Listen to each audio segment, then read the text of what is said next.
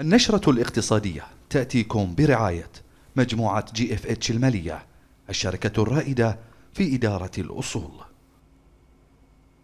عقد الجهاز الوطني للإيرادات ورشة عمل ضمن سلسلة من الورش لتعزيز الوعي بالقيمة المضافة والتطبيق السليم لها حيث تطرق خلالها ممثلو الجهاز إلى التعريف بمفاهيم القيمة المضافة وما يتعلق بها من أساسيات لتطبيقها والإلمام بآلية تقديم إقراراتها والرد على كافة الاستفسارات الواردة من قبل الحضور حيث شهدت الورشة تفاعلا بحضور أكثر من 100 مشارك من من الخاضعين للقيمة المضافة وأشار الجهاز إلى استمراره في تنظيم ورش العمل لتعزيز الوعي بشكل دوري.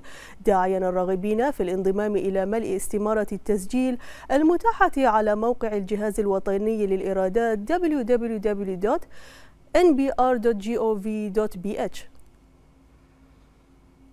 أعلن الرئيس الصيني شي جين بينغ التزاما هاما بتعزيز التعاون مع الدول العربية من خلال إنشاء عشر مختبرات مشتركة حيث ستعمل هذه المختبرات في مجالات حيوية عديدة منها الذكاء الاصطناعي. وللحديث أكثر حول هذا الموضوع يسرنا أن ينضم معنا عبر الهاتف الدكتور جاسم حاجي رئيس المجموعة العالمية للذكاء الاصطناعي. مرحبا بك في النشرة الاقتصادية وفي البداية دكتور لو تحدثنا حول العلاقات الاقتصادية الاقتصادية بين الصين والدول العربية والخليجية خاصة فيما يتعلق بالتبادل التجاري غير النفطي. مرحبا بكم وشكرا على الاستضافة. طبعا العلاقات العربية الخليجية والصينية ابتدت من 1956 وتطورت بشكل ملحوظ في آخر 20 سنة. طبعا مثل ما تفضلتي في قطاعات غير النفطية منهم الصحة والزراعة وال بنيه تحتيه آه، وبالاخص في مجالات التكنولوجيا ومؤخرا في الذكاء الاصطناعي حيث آه، اعتبر الرئيس الصيني إن من أهم الدول آه، اللي ممكن تكون تركيز عليهم في الذكاء الاصطناعي في المستقبل بالنسبة للصين تكون دول منطقة الخليج وإحنا البحرين نتمنى نكون من الدول الرائدة في هالمجال للتعاون مع جمهورية الصين الشعبية. بالطبع. دكتور يعني بالحديث عن الذكاء الاصطناعي بالتحديد لو تحدثنا عن أهم الشراكات بين الصين ودول مجلس التعاون لدول الخليج العربية وبالتحديد مملكة البحرين؟ طبعا من أهم اللي ما آه، طرح في آه، كلام رئيس الصيني أن بناء 14 مختبر وأكثريتهم آه، المختبرات لهم علاقة بالذكاء الاصطناعي والتكنولوجيا.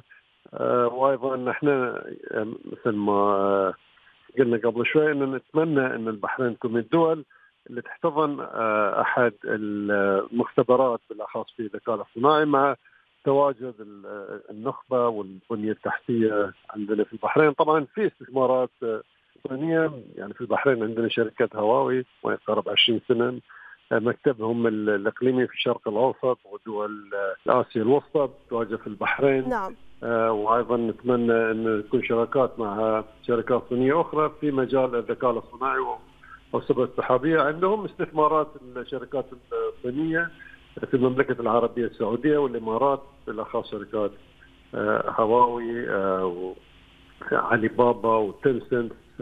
ف تطلعاتنا أن نستفيد من الخبرات الصينيه والاستثمارات الصينية في الذكاء الاصطناعي في مملكة البحرين.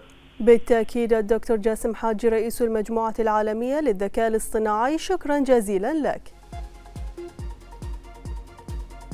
والآن نترككم مع أسعار صرف الدينار البحريني مقابل العملات الخليجية وأبرز العملات العالمية.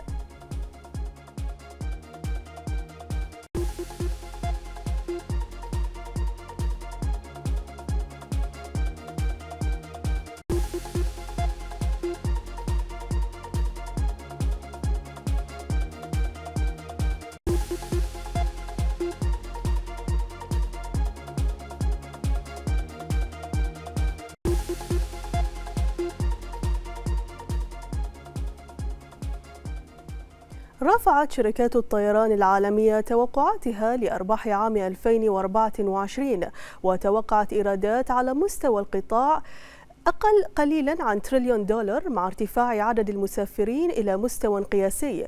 وقال الاتحاد الدولي للنقل الجوي إياتا إنه يتوقع أن يحقق القطاع على مستوى العالم أرباحا قدرها 30 مليارا و500 مليون دولار هذا العام.